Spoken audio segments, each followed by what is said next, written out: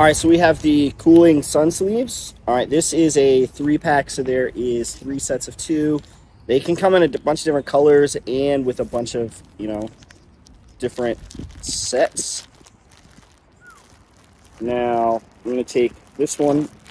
Now, the three I got here, we have like a black, a dark gray, and then kind of a light gray. We're going to check out this light gray. So these are supposed to help protect your arms uh, from the sun. They have SPF 50.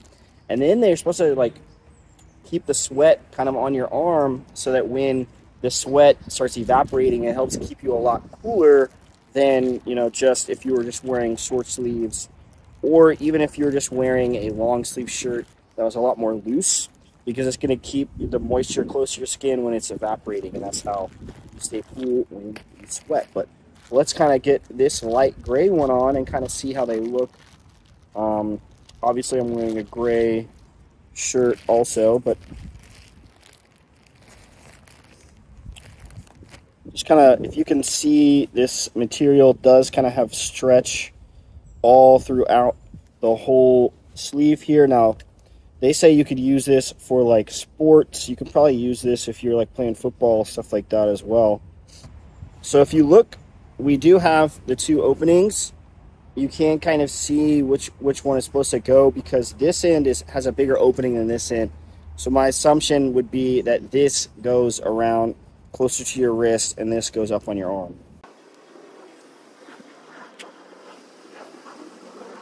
Yeah.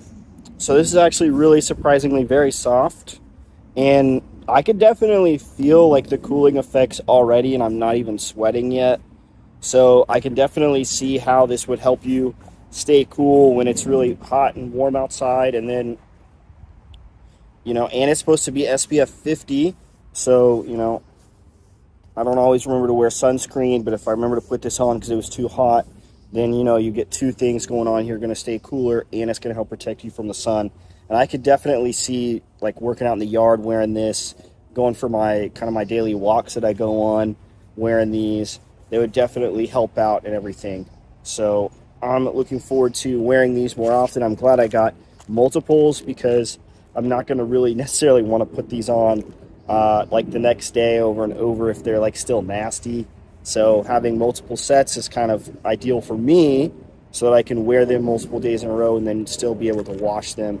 So uh, I'm looking forward to using these. Uh, obviously, you can tell it's getting a lot hotter where I'm at right now, but hopefully wherever you are, this is going to be something that's going to work out really well.